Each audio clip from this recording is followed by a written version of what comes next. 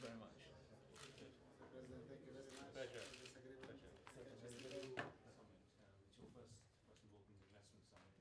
Thank you very much.